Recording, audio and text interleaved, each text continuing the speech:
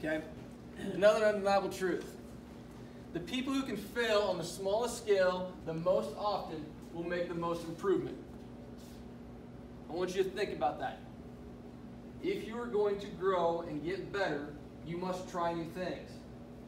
If you can try something on five, ten acres, replicate a trial, and do lots of them every single year, you will find out what works faster than anybody else. Okay? If you have to do an 80 acre test track, which we used to, you get to try three things a year. Only three products, either you're going to be very right or you're not going to learn anything.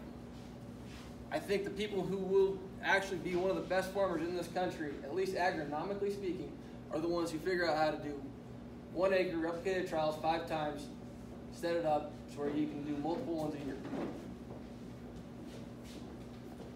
Next one, we'll never get the correct answer unless we ask the right question.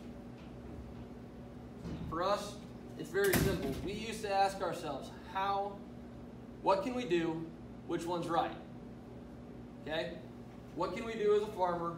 Then once we got our pool of options, what's the best answer? That is totally wrong.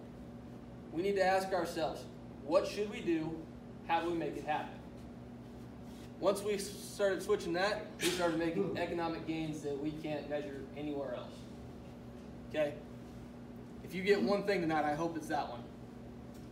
I really do.